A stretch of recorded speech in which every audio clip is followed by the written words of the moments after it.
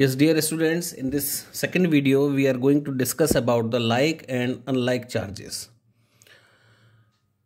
If we rub a plastic comb with dry hair, then electrons will flow from hair to comb and comb becomes negatively charged. In the previous video, I have already discussed that if any object will gain electrons, then ultimately we can say it is gaining the negative charge so if we rub the plastic comb with our dry hair, then in this case, the electron will flow from here to the comb. It means here are losing the electrons and comb is gaining the electron. So ultimately the comb becomes negatively charged and the hair becomes positively charged. Similarly, if we rub a glass rod with silk cloth, then electrons will flow from glass rod to silk and glass rod becomes positively charged. Now in this second case, the electrons are emitting out from the glass rod. Therefore, the glass rod becomes positively charged and the silk becomes negatively charged. Okay.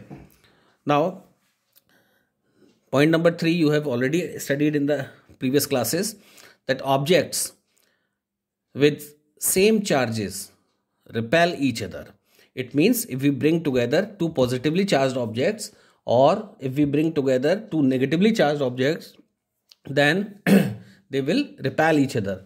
Because this is the property, this is the inherent property of charges that the similar charges will repel each other.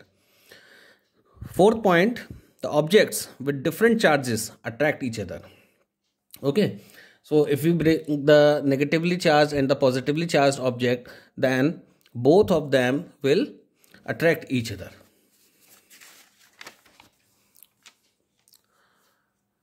Now we are going to discuss that repulsion is the proof for charge or simply we can say the repulsion is the surest test for electrification. Now in this case we have a positively charged body we named it as A object A and we have object B which is neutral in charge and object C which is negatively charged. Now object A is having the positive, positive charge therefore it will definitely attract object B as well as object C. Okay because it will attract object B due to induction method and it will attract object C because the opposite charges will attract each other. So object A will attract both B and C and we cannot differentiate whether B or C are charged or not. It means any charged body will attract another body. Either it is uncharged or it is oppositely charged. So we cannot say that attraction is the proof for charge. Now come to repulsion part. We have body A which is already positively charged and if we bring the body D which is also positively charged then we will see the repulsion. But in the above case here there is only the attraction.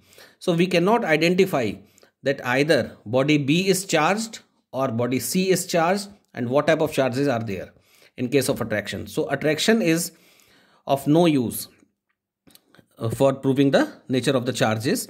Whereas if we bring the body with a similar charge then they will uh, they will not attract each other they will repel each other. Therefore we can say that body a and body d they both have the similar charges. Either they both are positive or they both are negative.